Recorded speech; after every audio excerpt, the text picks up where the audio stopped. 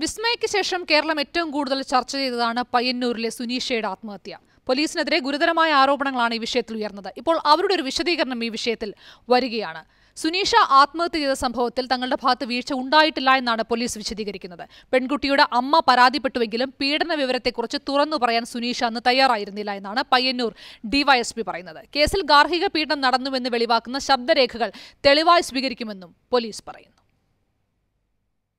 August അഞ്ചിനാണ് സുനിഷയുടെ അമ്മ Vanaja Payyanur police സ്റ്റേഷനിൽ മകളെ ഭർത്താവിന്റെ വീട്ടുകാർ പീഡിപ്പിക്കുന്നെന്ന പരാതി നൽകിയത്. പോലീസ് വിജീഷിനെയും സുനിഷയും സ്റ്റേഷനിൽ വിളിച്ചു വരുത്തി കേസ് ഒത്തുതീർപ്പാക്കി വിട്ടു തങ്ങളുടെ പരാതിയിൽ പോലീസ് കേസെടുത്തില്ലെന്നാണ് സുനിഷയുടെ ബന്ധുക്കളുടെ ആരോപണം. പോലീസിന്റെ വിശദീകരണം ഇങ്ങനെ.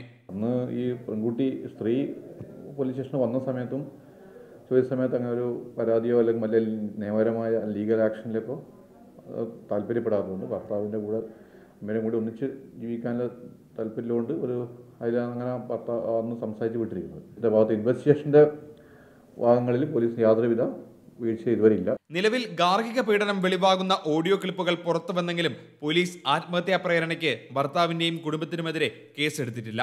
ഓഡിയോ ക്ലിപ്പുകളുടെ ശാസ്ത്രീയ വിശകലനത്തിന് ശേഷം ഇക്കാര്യത്തിൽ തീരുമാനമെടുക്കുമെന്ന് പോലീസ് പറയുന്നു. ഓഡിയോ ക്ലിപ്പ് പുറത്തു വന്നെങ്കിൽ നമുക്ക് പോലീസിനെ അത് ശരിക്കും ഒരു ഇൻവെസ്റ്റിഗേഷന്റെ ഭാഗമായിട്ട് പോലീസിന് കിട്ടിയിരിക്കുന്ന ഇന്നലെ വൈകുന്നേരമാണ്.